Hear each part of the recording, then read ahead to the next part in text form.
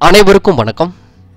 மூன்றாம் எண்ணில் பிறந்தவர்களினுடைய ரகசியத்தை பற்றி தாங்க இந்த பதிவில் நாம் சுருக்கமாக தெரிஞ்சுக்க போகிறோம் ஒருவரின் ராசி நட்சத்திரத்தை வைத்து அவர்களது குணத்தை கூற முடியும்.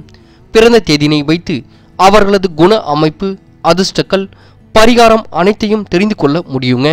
மூன்றாம் எண்ணில் பிறந்தவர்கள் குருவின் ஆதிக்கத்துக்குரியவர்கள். மூணு பனிரெண்டு இருபத்தி ஒன்று முப்பது தேதிகளில் பிறந்தவர்கள் மூன்றாம் எண்ணுக்குரியவர்களாக ஆவார்கள். இவர்களுடைய குண அமைப்பு மூன்றாம் எண்ணில் பிறந்தவர்கள் நல்ல ஒழுக்கமும் உயர்ந்த பண்புகளையும் பெற்று இருப்பார்கள்.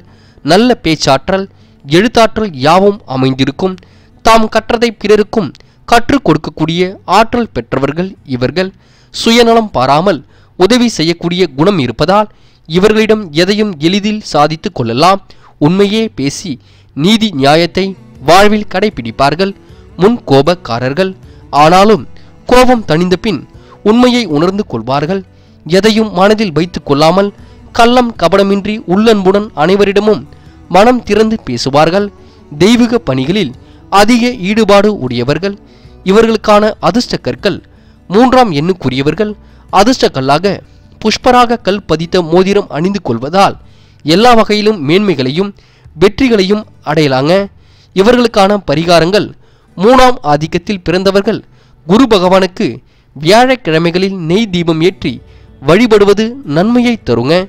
இவர்களுக்கான அதிர்ஷ்டம் தருபவை. அதிர்ஷ்ட தேதிகளில் மூன்று பனிரெண்டு இருபத்தி ஒன்று முப்பது ஆகிய தேதிகள் அதிர்ஷ்டம் தருபவை. அதிர்ஷ்ட நிறம் பொன் நிறம். அதிர்ஷ்ட திசை வடக்கு. அதிர்ஷ்ட கிழமை வியாழன். அதிர்ஷ்ட கல் புஷ்பராகம். அதிர்ஷ்ட தெய்வம் தட்சிணாமூர்த்தி. குருவின் ஆதிக்கத்தில் பிறந்தவர்கள் தங்களின் எண்ணுக்குரிய ரகசியத்தை தெரிந்து கொண்டு பூஜைகள் மற்றும் வழிபாடுகள் செய்து வந்தால் வாழ்வில் அனைத்தும் வெற்றியாகவே அமையுங்க.